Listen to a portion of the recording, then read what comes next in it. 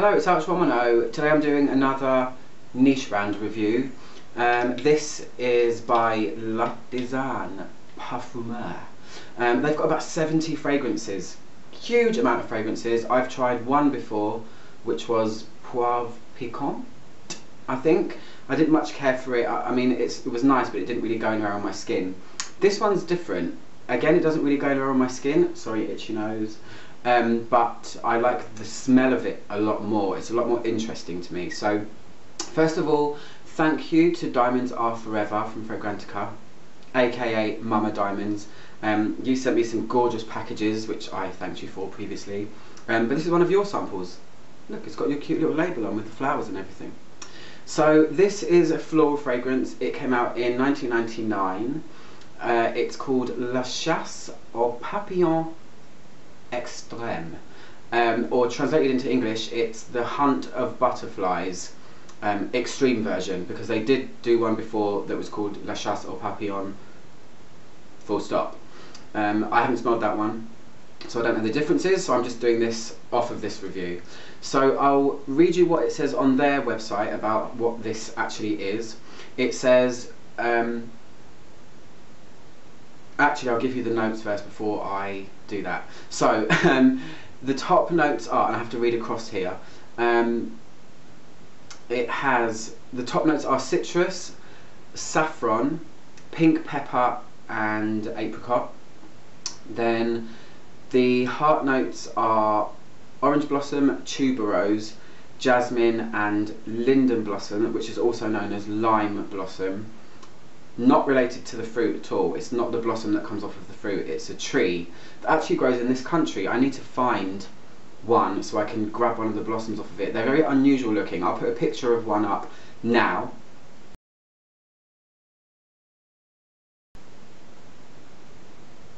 See that? Very weird looking things and this kind of smells like that. Um, and then the, the base notes are ylang ylang and honey. So you've got four very rich top end of the scale florals in this um, and some spices and then some weirdness going on which is the weirdness that is what I like. So this is what they say on their website.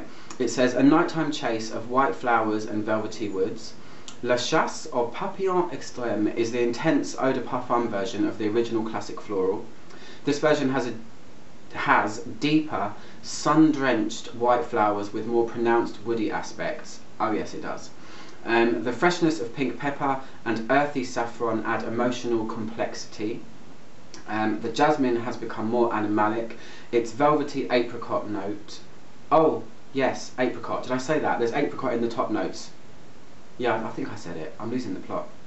Um, its velvety apricot note uh, well suited to the darker, more secretive atmosphere. A nighttime chase of extreme elegance.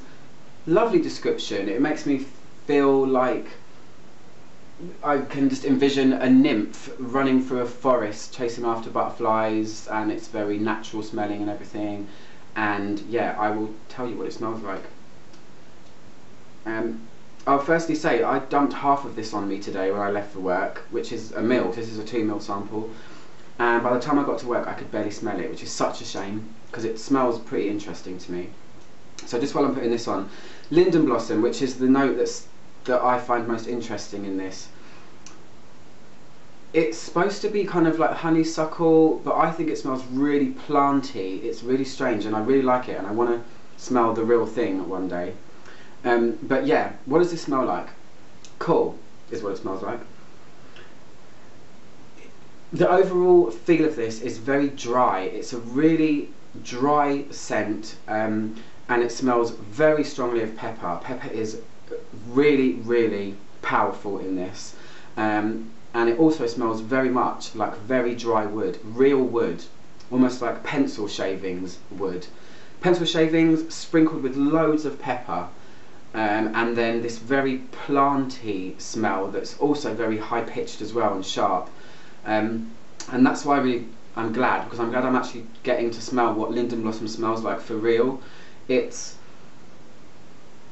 it's it's almost not mossy. It's almost stemmy kind of smelling. It smells like that picture. You can imagine it's if you crushed it, it would smell very natural and green and planty. So that's the three things I get from this straight away. Pepper, very dry woods, and then this really weird planty smell.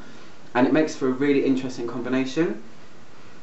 I'm shocked at the fact that this has four very usually powerful standout flowers. In this, they seem to have tamed them very well, and they're very elegant um, and very in the back, very far in the background as well. I'm a huge lover of tuberose, and in this, I can really smell ylang ylang in the beginning.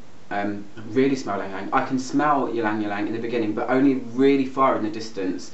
The pepper just washes over everything somehow, and orange blossom I don't smell.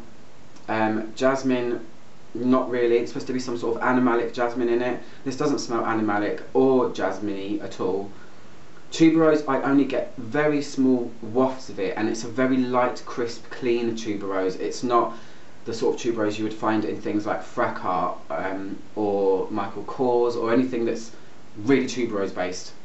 This is all about the wood, the very dry wood, this very planty, crisp, natural smelling note, and lots of pepper. So I will say it smells of pepper, but it doesn't smell peppery, and that sounds weird. But what I mean is, it's like it doesn't have the nose tingling effect of pepper. It just smells like pepper with the heat taken out.